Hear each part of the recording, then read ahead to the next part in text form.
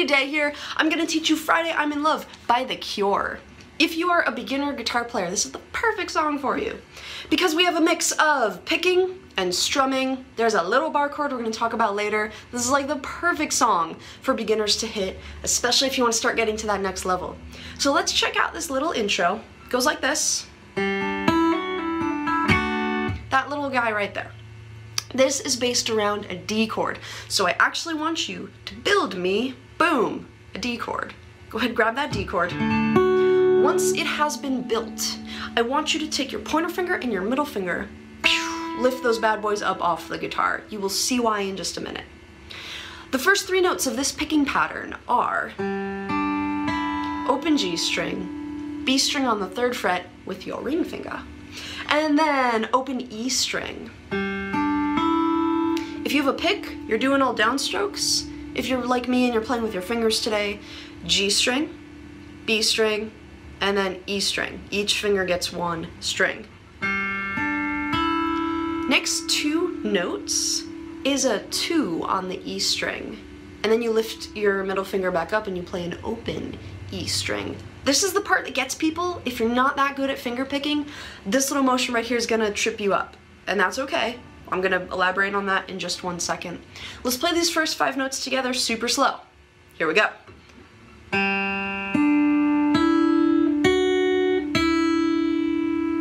So if you've never really done a lot of picking, what may be happening right now is you'll find it's hard to isolate this movement on your middle finger. Your, your brain will say, put my middle finger down, and like other fingers will move. Maybe you'll put it down and you'll miss the string, that's very common too.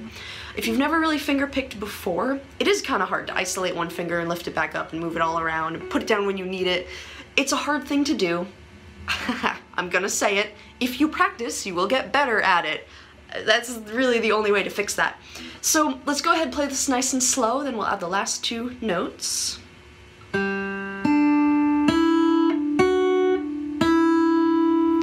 Next two notes are B string on the third fret, which we're already holding down, back up to the E string. So let's play all seven notes, nice and slow.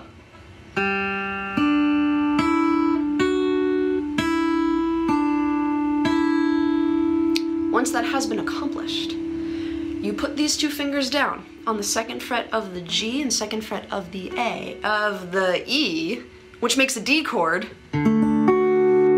Once you've made your D chord, you strum it. So it's really eight notes all together. You're playing these seven individual notes and at the end, boom, you strum your D chord. Let's do that, then we'll talk a little bit about what's up. So here we go. Here's all the notes and the strum.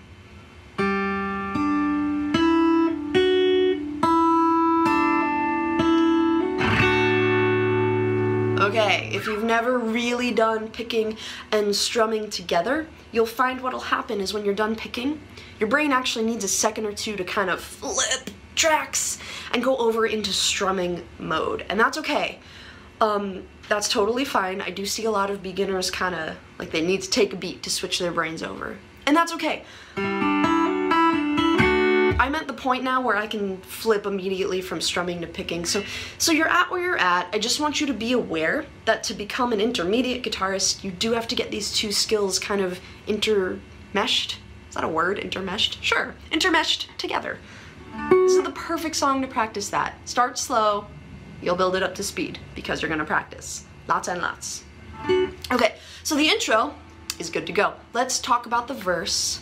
I'm gonna give you the chords, then we'll do strum pattern. Here's the chordy chords. We have a D, then a G, back to D, and an A. That's the first half of the verse. Second half of the verse is oddly similar, except we start on a B minor. then we hit a G, then a D, then an A, so you can see the similarity. That B minor, I know like half of you already clicked away. If you haven't clicked away yet, stick with me. I got some tips for you. So let's hit the strum pattern, then we'll come to this B minor chord. Here's a strum pattern. Down, down, down, up, switch, down, down, down, up, down, down, down, up, down, up, down, up, down, up, down, up. When you get to that A in the last two lines, The strum pattern's a little different. It's a quarter note. Down, up, down, up, down, up, down, up. It's a quarter note, then a whole bunch of eighth notes. So the first strum is a little longer than the rest of the strums. So one more time real quick, that A is down, up, down, up, down, up, down, up. It's kind of weird, but you'll get the hang of it. Actually get the hang of it pretty quick because everybody does. So aside from that A chord, everything else is just down, down,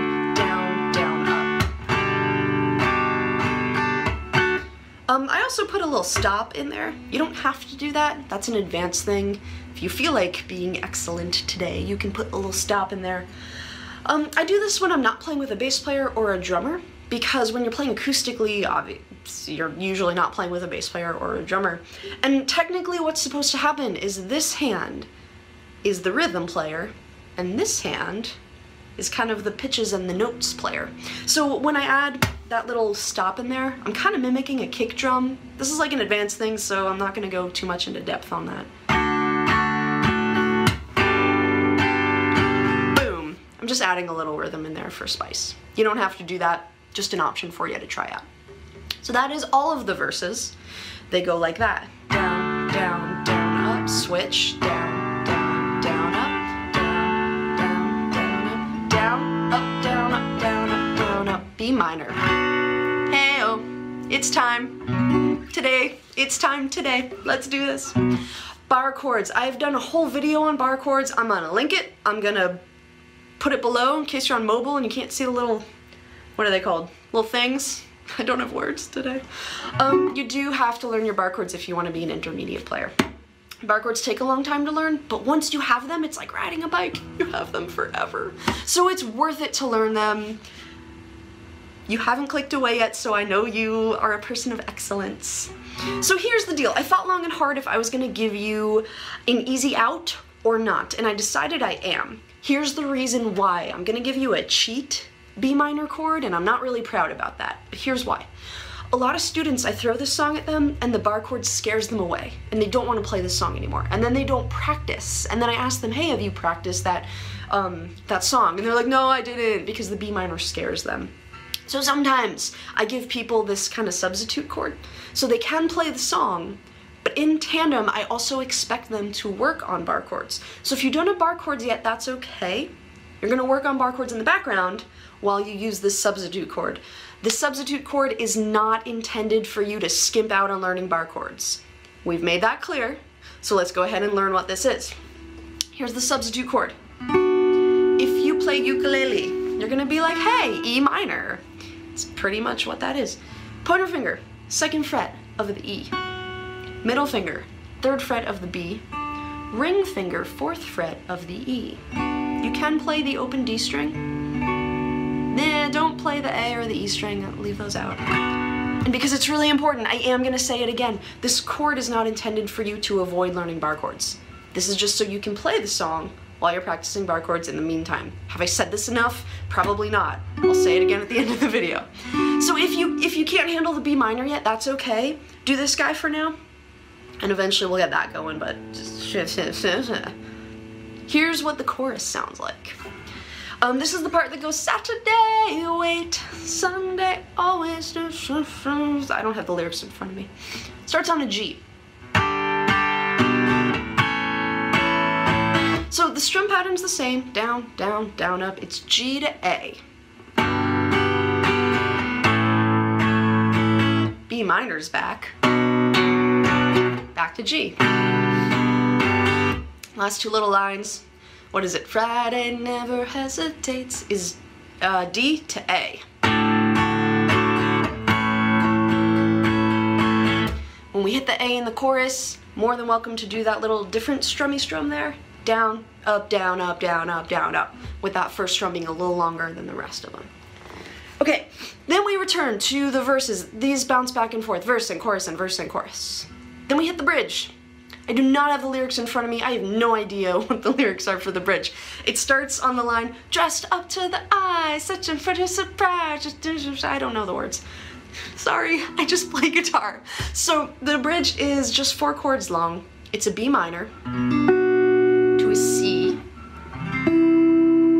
D, oops, to a D, then to an A. those four chords happen four times. Here's the fun part. I switch the strum pattern to quarter notes here. So the first two lines, I just go.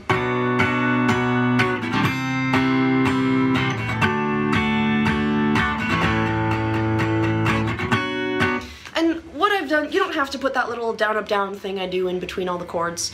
Um, but what I do is I hit each of these just four times. So it's B minor, one, two, three, four. C chord, one, two, three, four.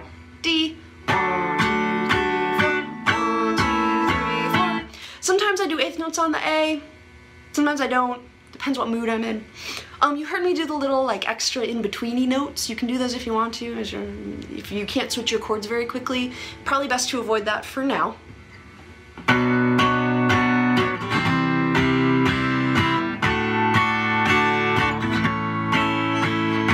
Dance sometimes in this part. Mm, mm, mm. So for the last two lines of the bridge, I switch it up to eighth notes because I'm trying to push the song into that last verse, chorus, forget where we go into next. But it's fun to make those last two lines, like roll them out. So here's what's up. I do just four strums, four, four strums, on the chords for the first two lines. One, two, three, four. One, two, Let's pretend we just hit the third line. It goes like this.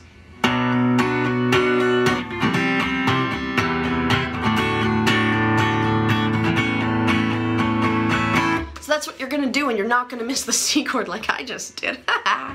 so all that is is now you're strumming eight times instead of four times. And again, I do that to push the song forward. You don't have to, but if you can, try it out. Again, it's a rhythm thing. Remember, this hand is rhythm, this hand is notes and stuff.